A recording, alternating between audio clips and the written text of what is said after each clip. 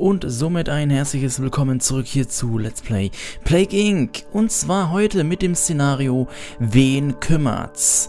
Die wachsende Beliebtheit von Reality TV in wohlhabenden Ländern lenkt die Menschen ab und führt dazu, dass sie sich nicht mehr dafür interessieren, wenn Krankheiten in armen Ländern ausbrechen. Ein Rückgang von finanziellen Hilfen hat bedeutende Auswirkungen auf die Überwachungsmöglichkeiten armer Länder und schränkt ihre Fähigkeiten ein.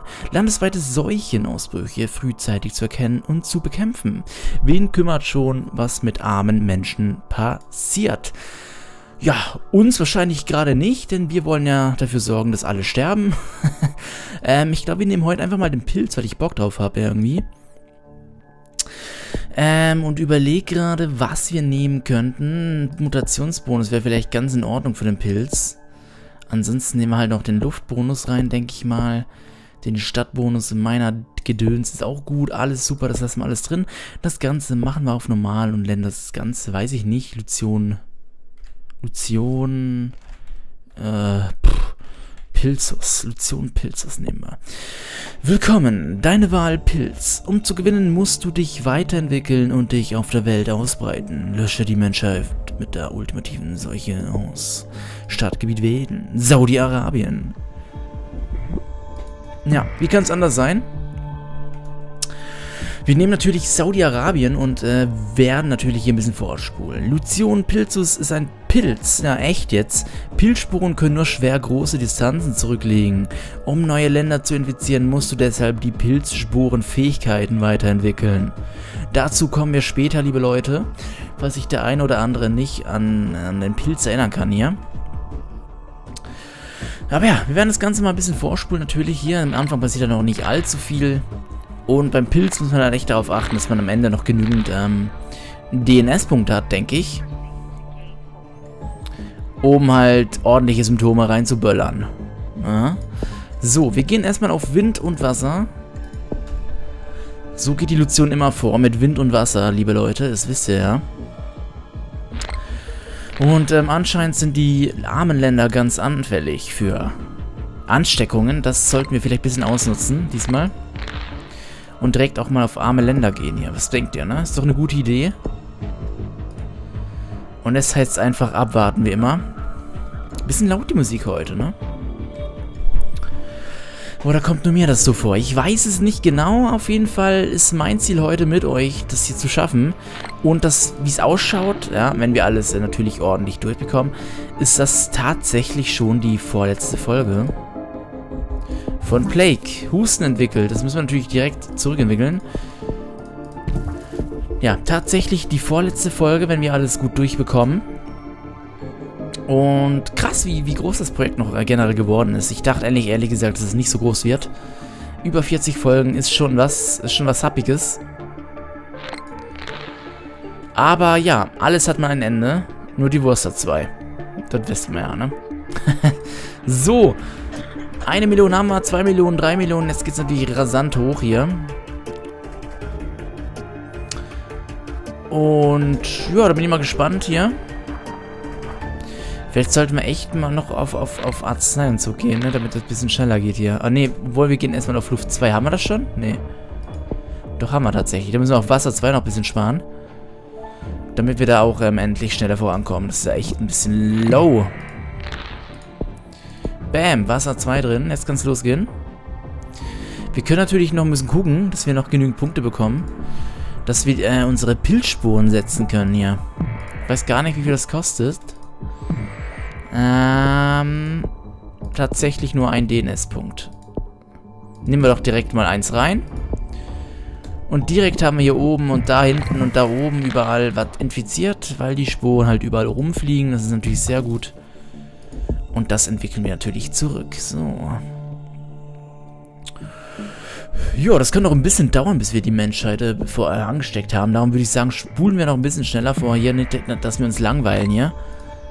Das wäre ja sonst nicht so toll, ne?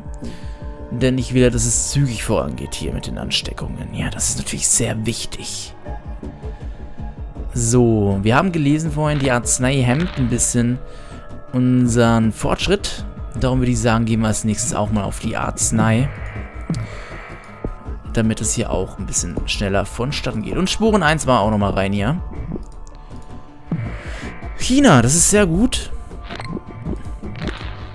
Das macht einen großen Teil der Erdbevölkerung aus für uns. Das ist sehr gut, dass das jetzt angesteckt ist.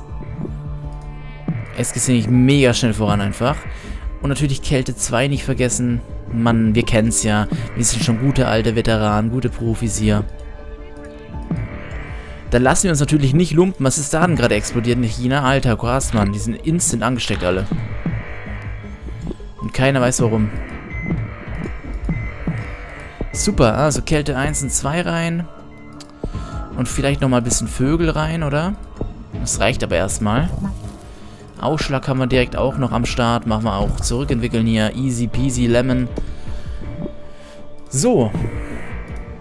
Ja, also der eine oder andere wird wahrscheinlich traurig sein, dass das Projekt dann bald zu Ende ist, ne? Kann ich verstehen irgendwo. Aber es wird auch mal Zeit für neue Sachen, ne? Muss man auch mal so bedenken. Neue Sachen werden kommen. Und da kann man die alten einfach auch mal abschließen. Ich meine, wir haben echt jedes Szenario gemacht. Das ist äh, krass. Jedes Szenario haben wir gemacht. Alter, was ist denn da oben passiert? Norwegen geht ab, ey. What the heck? So, Symptome hier. Husten oder was? Übelkeit zurückentwickeln. Easy peasy.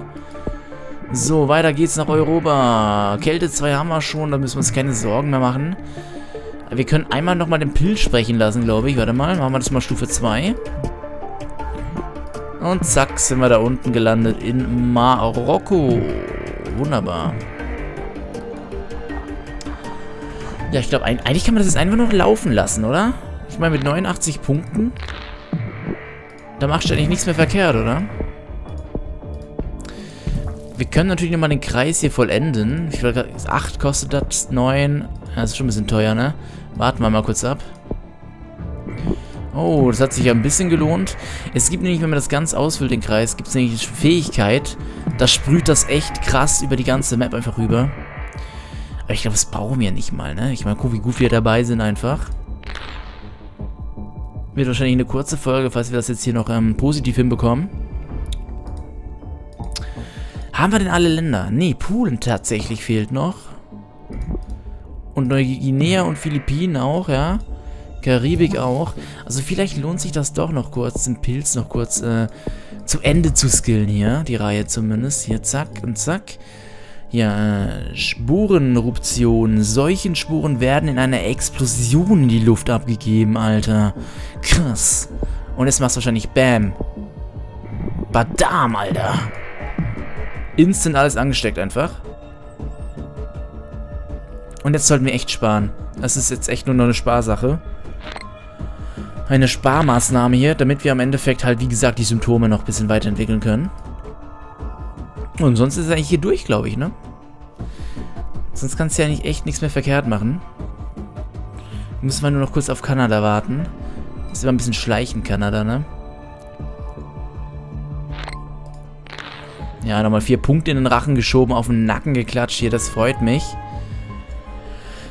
Ah ja, schön entspannt heute. Ein bisschen Plague spielen, Alter. Ist auch mal schön, ne? So, zurückentwickeln. Die Schlafstörung braucht man natürlich nicht. So, Kanada, machen wir ein bisschen hin. Wir wollen ja ein bisschen hier vorwärts machen heute. Wir wollen heute noch Plague durchbekommen, wenn es geht, ne? Aber ist gut, das ist ja nicht mehr viel, wie gesagt. Ja, aber das, äh, das läuft gut. Ich bin gespannt, was das nächste Szenario sein wird. Dieses Xenoph Xenophobie oder sowas. Hört sich ein bisschen vielversprechend an. Und wird, glaube ich, nicht einfach werden. So, die letzte gesunde Person ist angesteckt worden. Wir warten nochmal, bis es ähm, mutiert, damit wir ein bisschen Punkte sparen können. Ist zwar nicht notwendig, aber man will ja nochmal auf Nummer sicher gehen. Noch drei Punkte in den Nacken oder in den Rachen geschoben. Nice. Sehr großer Vogelzug. Das ist, ist jetzt auch nicht mehr notwendig. Denn wir haben alle Menschen angesteckt. So, kommt jetzt nochmal eine, eine Mutation von Pilzen her, oder... Ja, eher nicht, ne? Dann machen wir das selber. Komm, dann machen wir jetzt auf die Lunge nochmal. Husten, Lungenentzündung. Ja, das kennen wir ja alles. Koma und was weiß ich nicht alles hier noch kommt. Ey, das ist echt hart. So, wir haben es aktiviert. Neue unscheinbare Krankheit breitet sich aus. Schlafstörung, Dankeschön. Bisschen spät, aber passt. Und erster Todesfall in Angola. Ja, es geht natürlich ratzfratz geht's hier hoch, ey. Äh, die Landesgrenzen könnt ihr von mir aus jetzt noch offen haben. Das bringt euch gar nichts mehr. Ein Heilmittel dürfte auch schon zu spät sein, obwohl die relativ zügig vorangehen. Ja, ja, ja, die Meldungen kennen wir alle mehr als auswendig. Ja, genau, auf der Beobachtungsliste sind wir auch noch. So, Japan ist führend. Jetzt können wir natürlich diese kleinen Bläschen da wieder aufsammeln. Das bringt natürlich nicht so viel, aber ein bisschen was. Alter, diese Meldungen immer, aber es ist unglaublich, ne? Ich würde am liebsten ausschalten irgendwo, aber es geht nicht. 25% haben die Forscher, aber das reicht natürlich um Längen nicht. Gegen unser krasses Virus, oder gegen unser krassen Pilz eher gesagt, haben natürlich keine Schnitte die Forscher hier, ne? Kann so direkt den Sarg quasi schon mal vorfertigen lassen, damit man sich schön ins Grab packen kann dann, ne? So, ganz easy peasy lemon. Würde ich sagen, haben wir das heute gemeistert. Ich denke mal, die kommen noch auf die 50%, die Forscher. Das sind natürlich keine, keine doofen Forscher, das sind natürlich sehr kluge Menschen. Und die machen das kurz auf 50 noch wahrscheinlich. Ja, auf halber Strecke versagt. Hört man nicht gerne. Aber ist nun mal Tatsache gerade. Das war's mit dem Szenario. Nice. Und wir haben noch fast 100 Punkte übrig. Boah, da bin ich schon wieder ein bisschen hyped, ne, auf die nächste Folge dann, Leute. Das, ist natürlich geil, ey. Jetzt sind sie wieder 50 gerutscht, ja. Es tut mir leid für die Forscher, ne. Ja, das war's. Nice, Leute. Würde ich mal sagen, Hashtag Skill, oder? In die Kommentare. Und wir kommen noch auf die 100 Punkte. Ne, 99. Sieh mal einer an. da gönnen sie sich, gönnen sie uns die 100 Punkte nicht mehr. Schade. So, die ganzen Meldungen, die kann man natürlich auch nochmal ausblenden, äh, einblenden. Aber das ist alles zu spät, Leute, ne? Ihr, ihr seid jetzt echt so die letzten Leute, die hier noch ums Überleben kämpfen irgendwie. Aber das bringt euch ja nichts, mehr. Na, guck mal, 100 Punkte haben wir auch noch erreicht. 103 Punkte. Als abschließende Worte kann man sagen, sehr gut gemacht, sehr gut gespielt kann ich mich natürlich in der ESL League eintragen lassen, einfach, ja, weil ich einfach der King bin. Ne, Quatsch. war natürlich nicht, nee, war nicht, mit dem Pilz ist es einfach nicht schwer, muss man sagen, ne? Es ist echt nicht schwer mit den Pilzen. Aber ich wollte auch mal was anderes noch machen. Nicht immer Bakterie und Pipapo. Sondern einfach mal diesen so einen Pilz ausprobieren, ne? Ist schade, dass es keine Vorgaben gibt, so in den Szenarien, dass man nur das oder das spielen darf. Das wäre echt ein bisschen interessanter noch. So, Lucian Pilzus hat alles Leben auf der Erde erfolgreich ausgelöscht. Vielen Dank. Wir haben eine Bewertung, nur ein Sternchen bekommen. Aber das stört mich nicht allzu sehr. So, in der nächsten Folge, in der letzten Folge wahrscheinlich, kommt Xenophobie, liebe Leute. Und dazu aber mehr in der nächsten Folge. Bis dahin, euer Luzi, haut rein.